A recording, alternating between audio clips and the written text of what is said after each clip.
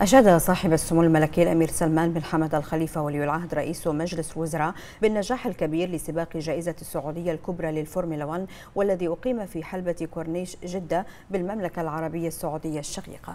سموه أعرب عن تهنئته إلى خادم الحرمين الشريفين الملك سلمان بن عبد العزيز آل سعود وصاحب السمو الملكي الأمير محمد بن سلمان بن عبد العزيز آل سعود ولي العهد نائب رئيس مجلس الوزراء وزير الدفاع بهذه المناسبة.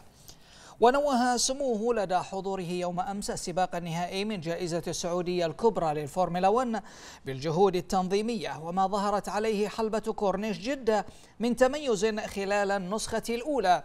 وهو ما يؤكد على ما تكتسبه المنطقة من مقومات تؤهلها دوما للريادة في العديد من المجالات. مشيرا إلى أن هذا النجاح سيعزز من موقع المنطقة العالمي في تنظيم سباقات الفورمولا 1 إلى جانب حلبة البحرين الدولية والحلبات الأخرى في المنطقة ويزيد من الاهتمام فيها وجعلها محط أنظار الجميع.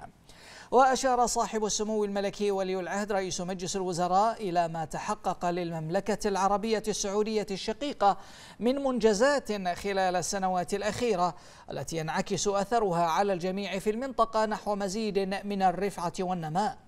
لافتا إلى النجاحات التي تحققها المملكة الشقيقة في تنظيم الفعاليات العالمية المختلفة على أرضها وما توليه من اهتمام لاستقطاب المزيد منها.